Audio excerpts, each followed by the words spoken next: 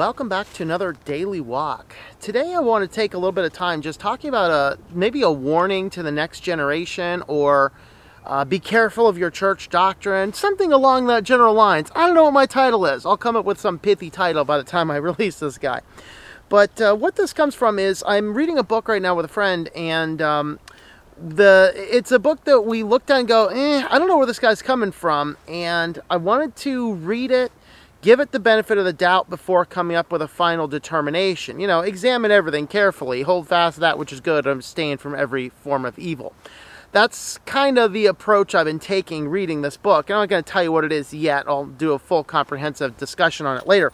But one of the key factors that seems to be present throughout the book is the author has a fundamental misunderstanding of doctrine because of the types of churches he was grown up in and it's uh, so he's a younger author, certainly younger than me. I'm thinking, I mean, the book was just released about two years ago, and I want to say the guy is still very early 20s.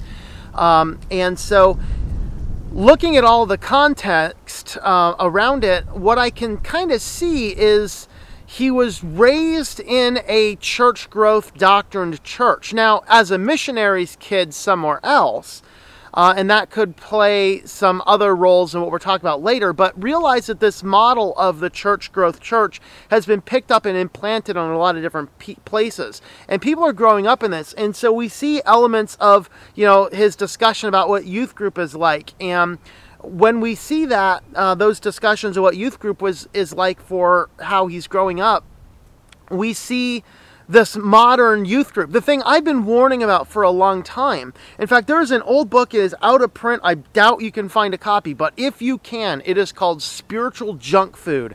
Absolutely read that book. It is by, uh, if I remember correctly, it's been a decade since I've read it personally, but um, it was from, it was analyzing the fact that youth groups moved away from following God and followed this modern model of just entertaining the kids. And that's really what if go to almost any youth group in a church in America and all you find is a lot of entertainment with, you know, a, a couple of scattered Bible verses thrown in here to to, to add the Jesus touch. And that's one of the, the factors that I'm seeing in this book is this person was raised in this type of modern church that I warn about. And the reason I warn about the churches is because they are not in alignment with the doctrines in the scriptures. All right? They're not. They just do not align right.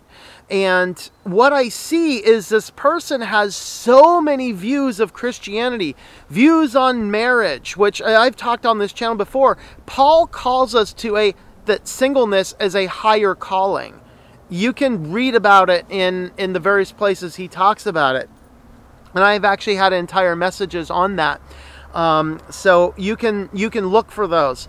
Um, what is the degree of singleness? So he, the guy was raised in a church that's one of these modern churches. They're they're pushing everybody to get married. They're pushing the regular fun. They're pushing bad doctrine. They're pushing easy believism. They're pushing all these things that we see in a modern church in America today.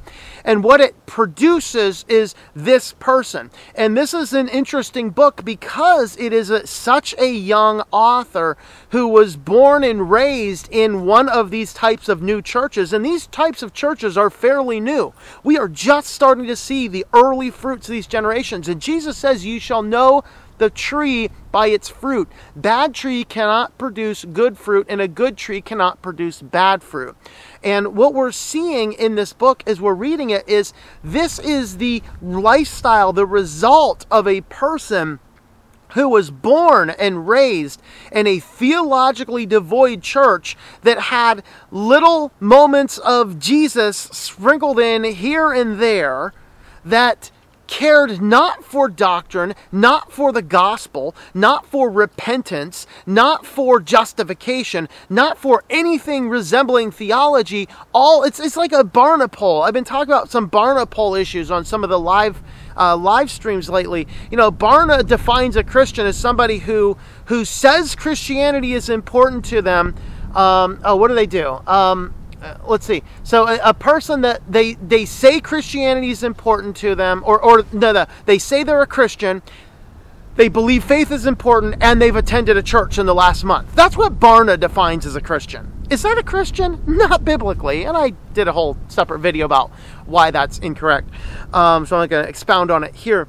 But the fact is, when you get these churches and you're getting kids being raised in these churches, and we're seeing this young generation of people that are leaving the church and walking away from it altogether, they're walking away because there's no truth there.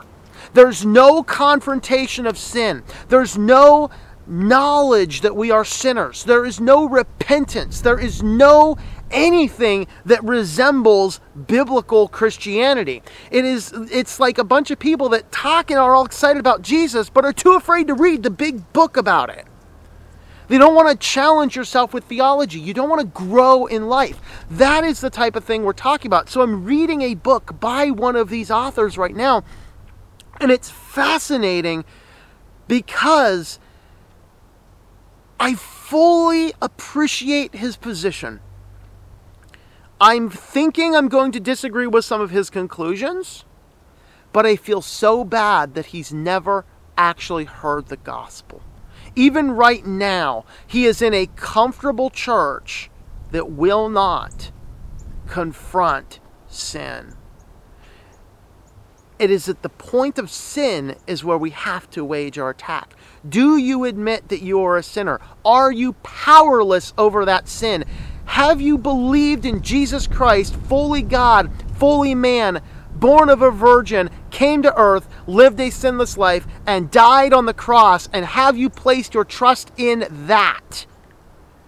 Do you agree with God that your sinful actions are actually sinful actions. That's that hinge pin. That's the gospel. And I have not seen a fraction of it yet. What I've seen is churchianity. I've seen go to church every Sunday. I've seen go to youth groups. I've seen get married in his book. I've seen all of these peripheral things that we talk about, but I have not seen the gospel. And even in his part where he talks about him being saved, the gospel is absent. We've got to start with the gospel. And when we have these modern churches that don't preach the gospel and are pushing more of a social club, less of the gospel of Jesus Christ, and the, the challenge and the exhortation to live as the scriptures command us to live, we raise up a generation of people who believe they are saved, but echoing the words of Jesus in Matthew chapter 7, verses 21 through 23 I never knew you. Depart from me, you workers of iniquity. In fact, that's, that's I think, verse 23 before that, verse 21, people come in and say, Lord, Lord, have we not prophesied in your name? Have we not cast out demons and done many works in your names? And I will say unto them, I've never known you.